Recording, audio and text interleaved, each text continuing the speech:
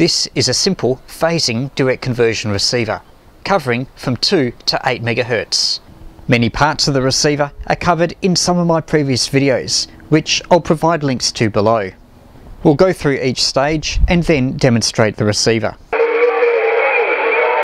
The local oscillator for the receiver is generated by this Arduino controlled direct digital synthesizer. The Arduino is just a standard board, in this case a KitTen from Freetronics.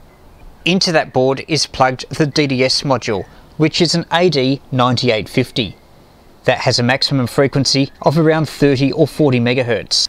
Because of the configuration of this receiver, the local oscillator must be four times that of the received frequency. The rotary encoder I'm using was salvaged from an old clock radio it's not the greatest and it sometimes skips a step or two when I turn it. I did a previous video on an Arduino based DDS VFO and I suggest you watch that for a few more details. I haven't made a lot of changes.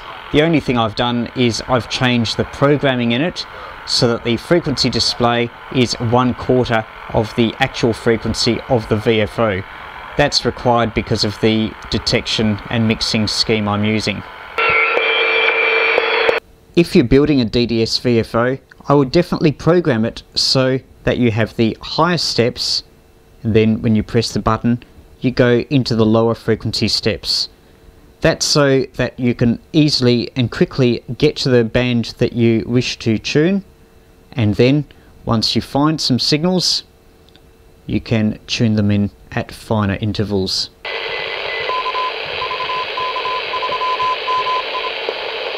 Another thing I did when changing the programming, I set it up that when you connected one of the inputs, I think it was A5 to Earth, the frequency would change by about 3 kilohertz. Of course, a quarter of 3 kilohertz is 750 hertz, which is a good frequency for a CW offset if you're going to be using this as part of a direct conversion CW transceiver.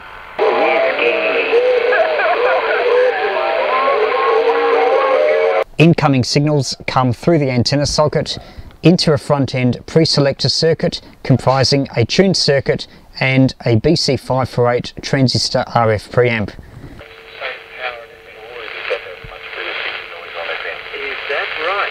The circuitry near my thumb is not part of this project, but these two transistors are. This is a two transistor buffer circuit which amplifies the very small signal from the output of the DDS VFO. That step up in level is required for the subsequent stage.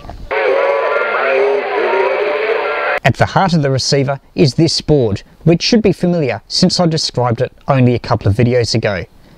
It comprises a 74HC74 which takes the signal from the DDS VFO and divides it by 4.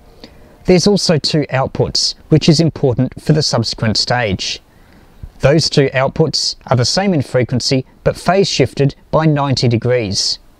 Mixing is done here between the two 7 MHz signals coming in from the DDS VFO and the divider and the incoming signal also on 7 MHz if we're receiving 40 meters. The 74HC4053 stage is described in more detail in my binaural receiver video. The audio output from the 74HC4053 mixer stage goes into this audio phase shift circuit. It's the same one as used in the Polish SSB transmitter I described a couple of years ago. I'll include a link to that video as well. Moving along here, we have some audio filtering. I'm using small RF chokes and electrolytic capacitors. The purpose of this is to cut off frequencies above about 3 kHz and to provide reasonable selectivity. It does this without any need for a crystal filter. I can use small values of inductance because I'm doing the filtering at a low impedance. In this case, this is a 1K to 8 ohm transformer and this one on the right is also a 1k to 8 ohm transformer with the 8 ohm sections facing this filter. Finally we have the audio amplifier.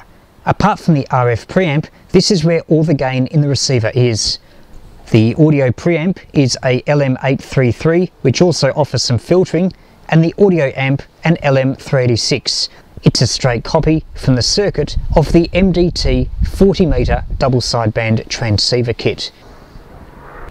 Not including the DDS VFO and the Arduino, this circuit uses 4 ICs and 3 transistors. As you'll hear in the following demonstration, its performance is quite good.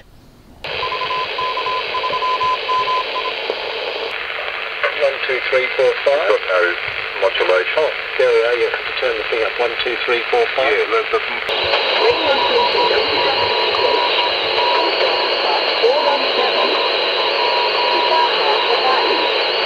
Obviously, we're not paying here. We're not paying in England either. I've got a lifetime license, uh, lifetime call sign in the UK still.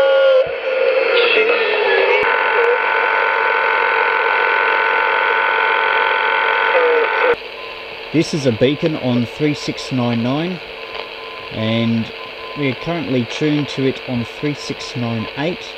This is the audio image. Because when we tune up in frequency. So that it's now on the lower sideband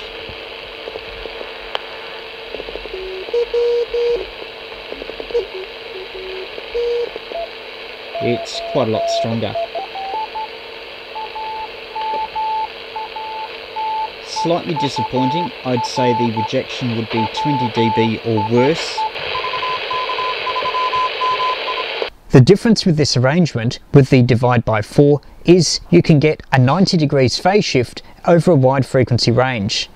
That's beneficial if you want to build a transceiver or receiver that covers more than one amateur band.